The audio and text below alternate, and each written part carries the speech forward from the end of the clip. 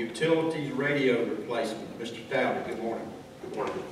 Yes, sir. Uh, The current radios that's in the utilities department, it's pretty much end of life, and they've not been supported by Motorola since 2018. Uh, When we have the issues with our radios, there's problems in finding parts, and we are a couple of units down already.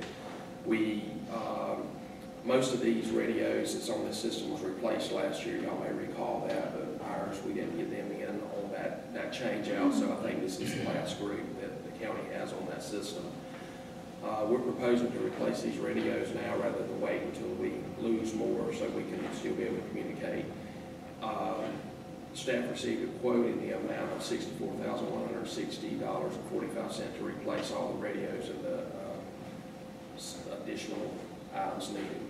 Um, We just ask that this item be approved, and it's part of our current budget. Questions for Mr. Talbot? Okay, hearing none, we'll